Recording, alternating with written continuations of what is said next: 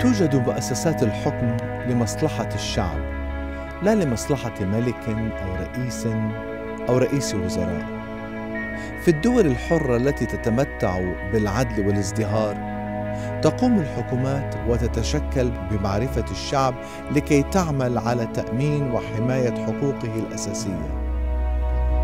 مثل هذه الحكومات تستمد سلطتها من موافقة المحكومين وليس من وضع اجتماعي أو ثروة أو امتياز من أي نوع.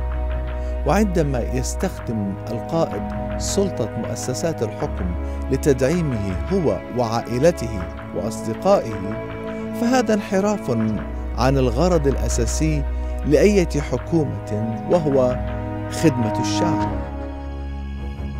فهذا الاستغلال وإساءة استخدام السلطة هو ما يدمر الأمم. أما اختيار مؤسسات الحكم من قبل المحكومين فهذا أمر يقف على النقيض من استبداد القادة والزعماء الدينيين. كما أنه تماما عكس الفوضى التي تحدث عندما يعمل كل شخص ما يراه صحيحا. فالشعوب الحرة في النهاية هي المسؤولة عن شكل مؤسسات الحكم لديهم فواجب تلك الشعوب وحقها أيضا أن تضمن قيام مؤسسات الحكم التي يشكلونها بالغرض الشرعي لوجودها.